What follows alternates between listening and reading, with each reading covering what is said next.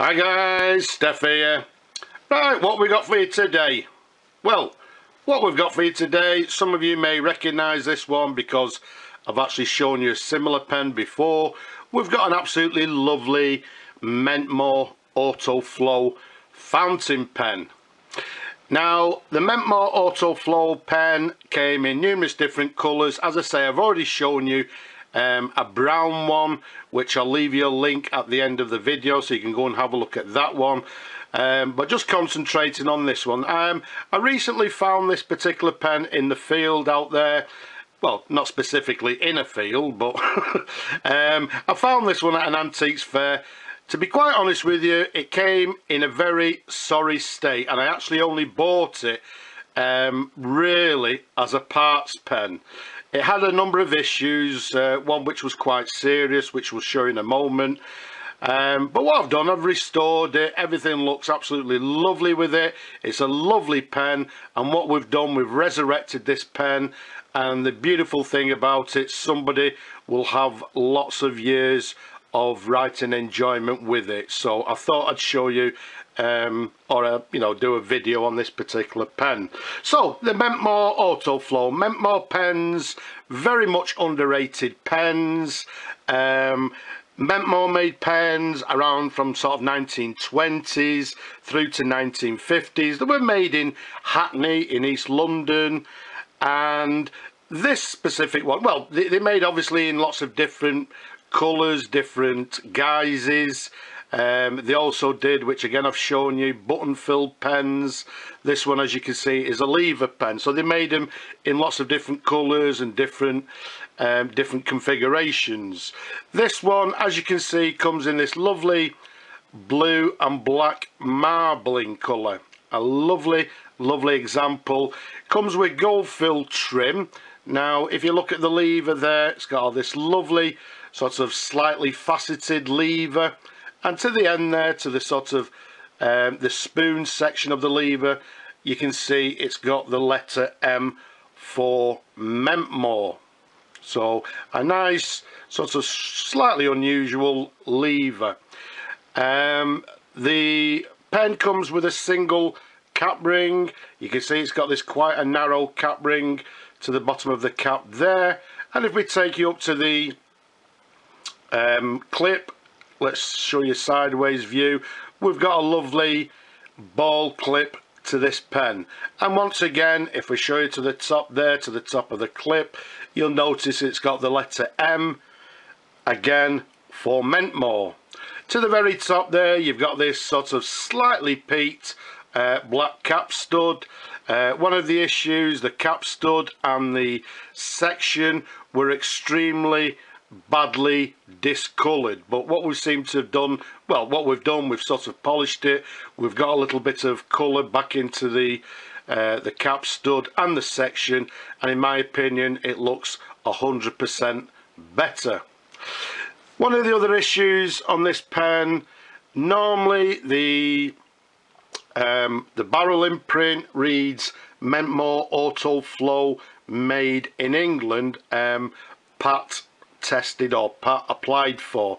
Now if we show you the pen, for some reason we can't see or the the barrel imprint is not visible. So whether it's actually worn um, whether somebody for some reason has polished it away I do not know. Although saying that I have actually polished the pen myself. But the barrel imprint is missing. Now with a loupe I can just simply see a little bit where it actually says something about um, the, the pat pattern is applied for. So I think there was, originally there was obviously a barrel imprint somewhere on the pen. But alas, it's missing. But doesn't affect the beauty and the working of the pen. The size of the pen from the top of the cap to the bottom of the barrel, um, 126 millimeters capped around the diameter of the pen, a lovely 12 millimeter in diameter. Once again, let's show you the the color, the color of the pen. Absolutely lovely. This blue and black marbling to the pen. so although it came in a very sorry state in my opinion we've resurrected it and again you know we've brought it back to life. Let's unscrew the cap for you show you the the pen in different angles while I'm showing the pen in different angles.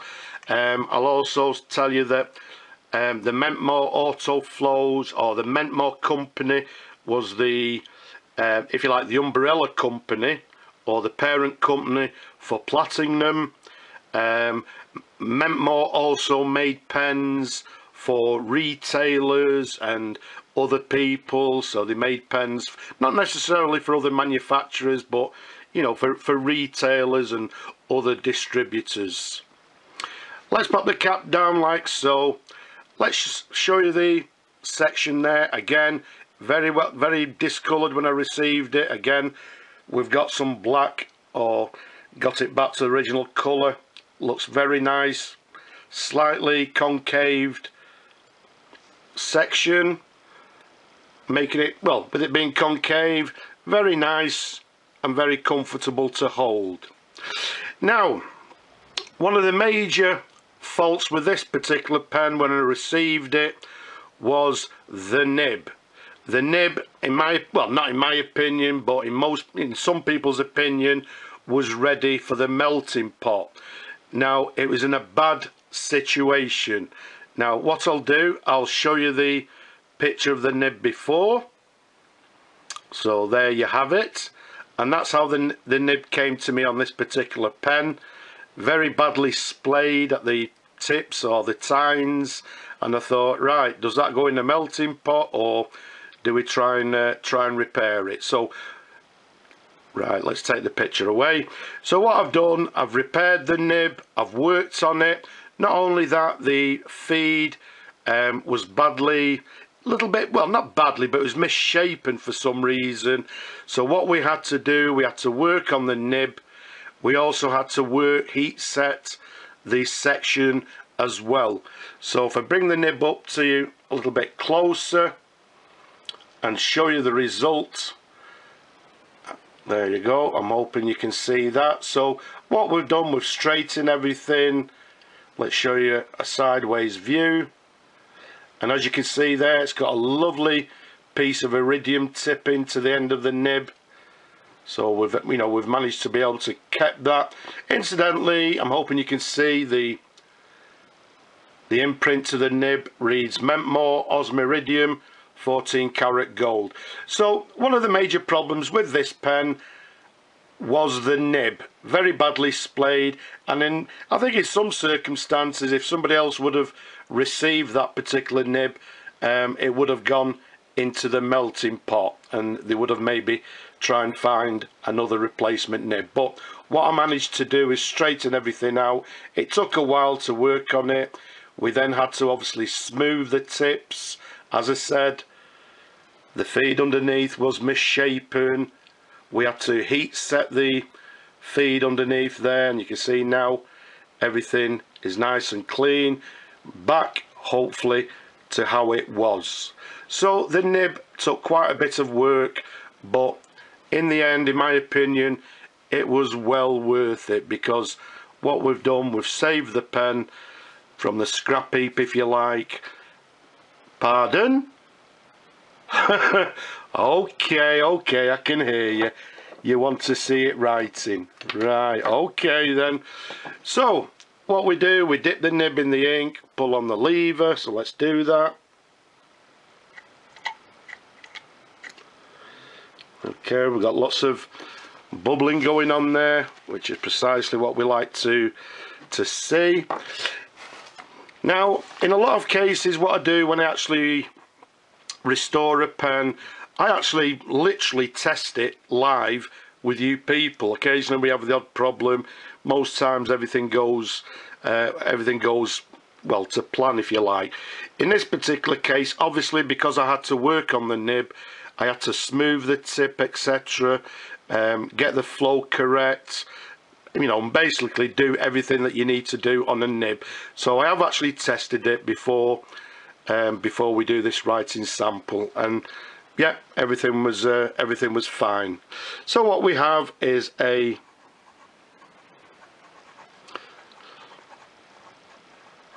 a Mentmore. As we said, the model on this one is the is the auto flow. The date of the pen, I would say maybe 1930s, 1940s. It's now writing very nicely thank you. As you can see um, there's no flexibility in the nib. It's quite a hard nib but saying that as I said I've smoothed it I've worked on the nib. And obviously as you saw in the picture before it wasn't going to work for anybody. But now as you can see it's writing very nicely smoothly with a nice nice wet line as well. And I would say writing with a fine line. So there we have it. So whereas before the nib was no good for anybody maybe just for the scrap heap or the the melting pot we've now worked on the nib got it back as good or as as best I could. I've worked on the nib I've smoothed I've heat set the feed I've adjusted everything and it's writing very very nicely. So after all that what we'll do we'll try and find a new home for this beauty because it deserves a new home um, after it's what it's actually been through. And somebody is going to have many many years of well of pleasurable writing whereas maybe a little while ago well it was like an ugly duckling and maybe it was ready for the scrap heap but now resurrected ready to go ready for a new for a new home. So that's the autoflow. Mentmore came to me with numerous issues which we've sorted. I hope you've enjoyed looking at the pen as much as I enjoy showing them to you people. Don't forget leave a comment below. Don't be shy and don't forget to subscribe. But for now, I'll just say bye bye for now.